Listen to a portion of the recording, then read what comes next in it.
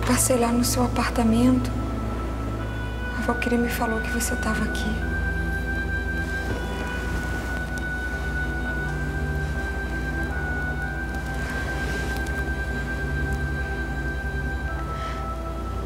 Olha pra mim, pai.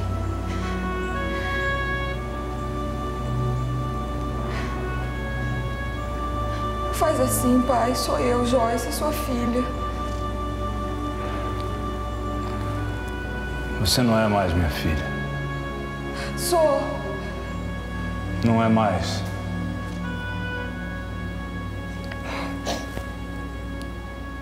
Faz isso, pai. Pai, eu fugi. Eu queria me esconder, eu queria ficar longe. Mas eu me arrependi. Quando eu vi que você não fez o seu programa, eu quase morri de remorso. Voltei para conversar com você.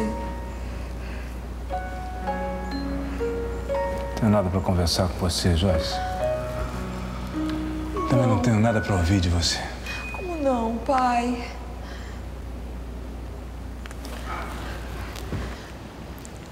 Olha para mim, pai. Deixa eu te explicar. Explicar, Joyce.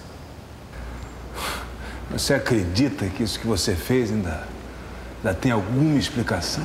Tudo tem uma explicação, pai. Para mim, não. Eu devia ter contado para você, eu sei.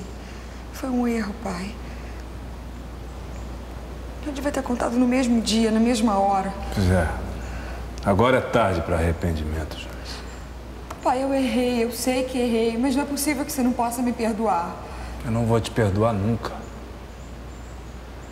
Nunca? Para mim, você morreu, Joyce. Tá morta e enterrada. Pai!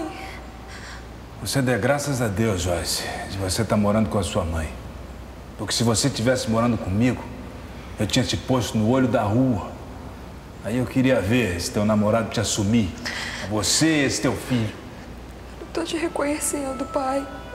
Não tem importância. Não tem importância porque você não é mais a filha que eu criei.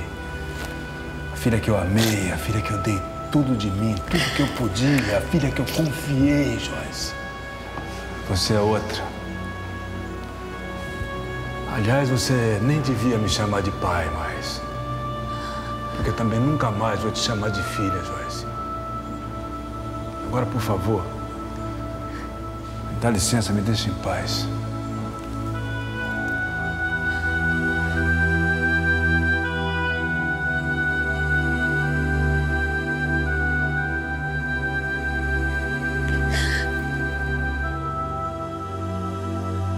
Mas coitada da Joyce, eu imagino o que ela deve estar passando. E você também. Não sou mãe, mas sei muito bem que as mães padecem com o sofrimento dos filhos.